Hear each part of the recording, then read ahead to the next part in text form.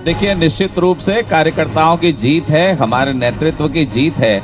और नेतृत्व ने जिस हिसाब से कार्यकर्ताओं का मार्गदर्शन किया कार्यकर्ताओं ने दिन रात एक करके और इस कुशासन की भूपेश बघेल सरकार को इसके लगभग सारे मंत्रियों के साथ उखाड़ फेंका कार्यकर्ताओं को और नेतृत्व को बधाई है। दूसरी बात मैं आपको कहना चाहता हूँ कि छत्तीसगढ़ में जो एक बड़ी पीड़ा थी जो आ, हम समझ नहीं पाए या कांग्रेस नहीं समझ पा रही थी जिसे बार बार राजेंद्र भैया उसको स्वीकार भी कर रहे हैं कि छत्तीसगढ़ में अगर सत्ता की चाबी आती है तो सरगुजा संभाग और बस्तर संभाग से।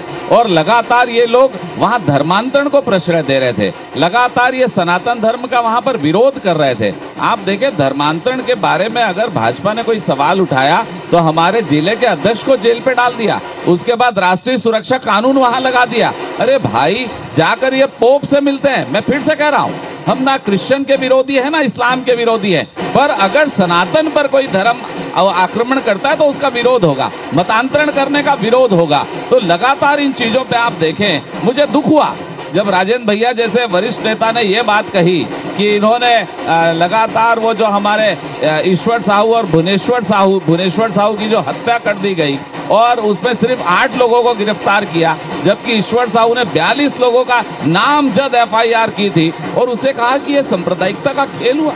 अरे वो नौजवान की हत्या हो गई लौ जिहाद के कारण हो गई और आप तुष्टिकरण कर रहे मुझे भी दुख है कि वहाँ दो मुसलमान भाई मारे गए। हमने मांग की थी कि भूपेश बघेल सरकार उनको भी